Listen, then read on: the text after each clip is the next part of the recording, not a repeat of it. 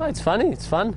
So uh, yeah, it's like a scooter, but you know something between a scooter and a car. So uh, it's good fun. Electric. You don't hear the engine, but uh, it was quite powerful up here. So very direct. Seems seems